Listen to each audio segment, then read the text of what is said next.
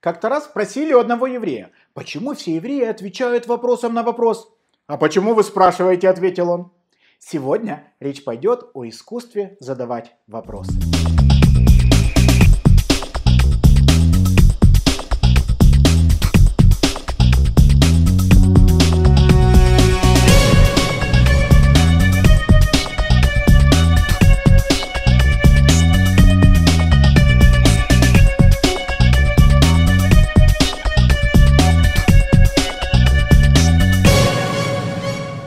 Дорогие друзья!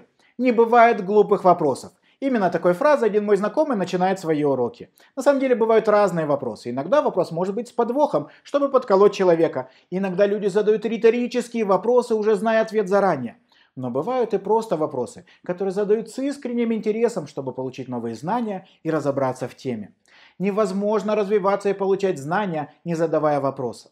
Наши мудрецы говорят, что ученик, который стесняется задавать вопрос учителю, никогда не сможет по-настоящему выучить предмет. Правильно задать вопрос, ведь это целое искусство, которому учатся всю жизнь. Вся еврейская литература, она построена на таком формате. Вопрос и ответ. Именно так на протяжении веков люди получают новые знания. Но и ситуации, в которых задавать вопросы неуместно. И вопрос может выглядеть как проявление неуважения – Наша недельная глава Ваера как раз рассказывает о таком случае. Все начинается с того, что Бог дает указание Маше, чтобы тот отправился в дворец к фараону с просьбой освободить еврейский народ от рабства. Фараона эта просьба очень злит, и он усугубляет положение еврейского народа, которое до того было ужасное. Муше очень расстраивается тем фактом, что именно его поступок привел к ухудшению ситуации, и он обращается к Богу со следующими словами. «О Господь, зачем ты навел беду на этот народ? Зачем только ты послал меня к нему?» На это Бог ему отвечает, что про отцы Авраам, Ицхак, Яков, они всегда выполняли указания без лишних вопросов.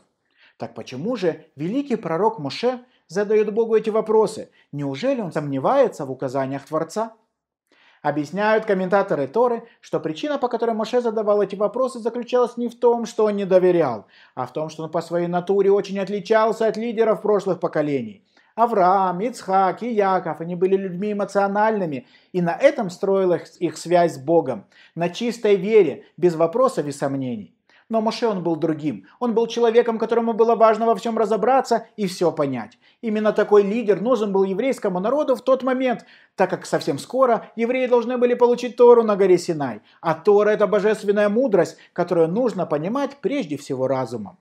А как можно разобраться и понять мудрые мысли, не задавая при этом вопросов? Изучайте Тору и не стесняйтесь задавать вопросы, ведь это единственный способ во всем по-настоящему разобраться и все понять. Шаббат шалом и до встречи на следующей неделе. Вам интересно изучать недельные главы Торы? Подписывайтесь на рассылку проекта Кабалат Шаббат с Даркейну.